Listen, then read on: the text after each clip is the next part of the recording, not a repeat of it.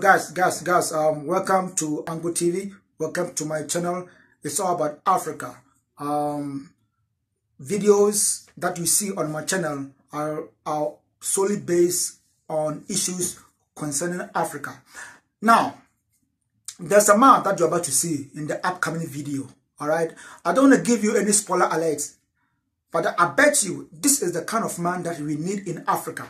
This is the kind of man that the whole world need. He's the kind of political leader, a kind of government official that you're going to wish your country has. Okay, we we always complain about our leaders. We always lambast them. And we always pray that those our political leaders are selfless. They are not greedy. We pray that Africa will have leaders that will take Africa to the promised land. Well, this man might just be the right person for Africa. Like I said, no spoiler alert. Just watch the video and I bet you, you'll commend this guy. His name is Ayade Benjamin of Nigeria, Cross River State. Alright? Now, if you've not subscribed yet, please hit the subscription button. Okay? And as you watch, don't forget to leave your comment. Your comment is your voice. Your, your comment can go a long way in helping Africa. As usual, God bless you. God bless Ghana and God bless Mother Africa. Thank you.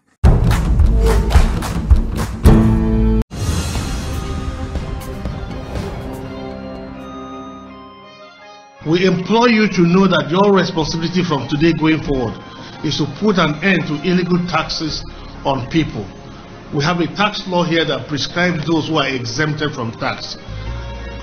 All those categories of people and those that from time to time may be so announced by the governor, including every single hotel that has less than 50 rooms in Calabar and in the whole state, today are exempted from payment of tax.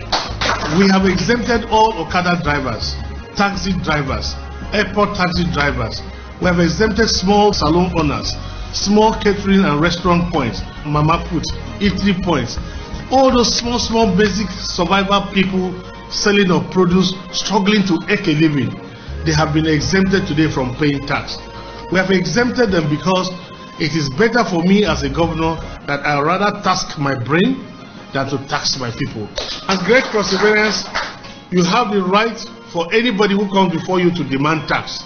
You have the right to say, stop, the governor have said we should not pay tax. Why will a small person carry banana from his farm to go and sell and produce people are there taxing him for produce? Why would somebody carry granite to go to market and somebody is putting a checkpoint on the road and collecting money from the granite seller? This is not Ben Ayade. This is not my nature. I am not wired for this insensitivity to a weaker person. I have abolished produce tax. Let farmers earn their money, let them keep their money. Because you didn't give them fertilizer, you did not irrigate the soil, you did not prepare the soil for them, you did not do the land clearing for them. Why do you want to tax them? Why do you put pressure on that your small brother or sister whose situation is much worse? Why will we expect that people who don't have scholarship for their children who don't have good schools, they struggle to pay, struggle with the uniforms, struggle to have security in their small businesses, struggle to get water with their borehole, struggle with generator, and government is providing almost nothing to come back to such people and tax them. I, I think this is the greatest injustice. I never knew that five years into office as governor, I would still find somebody who could live in a tash house in Cross River. I almost cried because I knew how prepared I was, but it, it didn't end the way I had dreamt for the state. And I, just think that somewhere God will just help me because I really wish I had really. Wow, wow, wow, guys, guys, oh my God. This guy is crying. He's basically, literally crying. He's crying like a baby. Not because he wants to cry, but because of the injustice being done to the people. I mean, how many leaders in Africa, how many leaders in Cameroon, how many leaders in Ghana? How many leaders in Zambia? In Cote d'Ivoire? In CAR? How many of his peers in Nigeria will cry because of the injustice being done to the people? This is the kind of leader every country should have. This is the kind of leader we should spend our time and vote for.